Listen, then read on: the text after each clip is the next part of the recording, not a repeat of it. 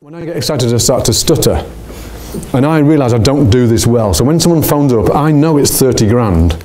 and, and, so I get excited and I start to stutter. So when a lead calls me, I get the lead. And this happened, it happened for blooming years, this.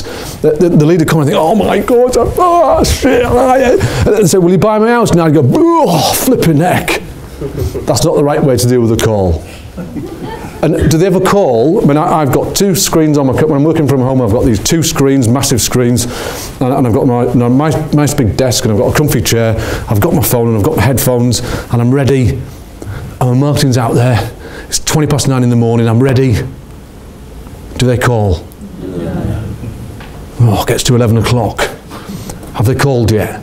No. No. It gets to about half past 12. Have they called? No. No. I, find, I need the loo. I'm resisting.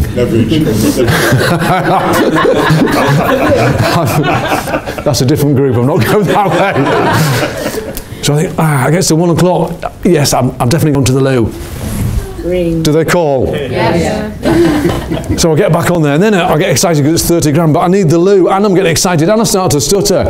Is that a, the right place to answer the phone? No. Please don't do it yourselves. It's just there's just no point. They'll, they'll ring when you're shopping. They'll ring when you, uh, are all boys the same? I don't. It might be a sexist thing, but do we all try and get the shopping out of the car and carry about 16 bags in each hand? Do we all do that? bring, bring, bring, bring. Oh. So just don't take the call. Get somebody else to do it. So I'll just. Someone like to be a vendor phoning up. I'll just. Okay. So uh, bring, bring, bring, bring. Hi, ABC Property. Can I speak to Lucy, please? Hmm. Yes, I'm Lucy. How can I help? oh, okay. Can I take down a few details? Would that be right? What's your name? And what's your surname? What's the address of the property you're looking to sell? And what's the postcode? And how many bedrooms has it got? What's the approximate market value of the property? I'm not going to hold you to it, just approximately. What's the outstanding mortgage on the property? Um, and what's the reason for sale? Uh, can we get one of the consultants to call you back in a little while? Would that be okay? Brilliant.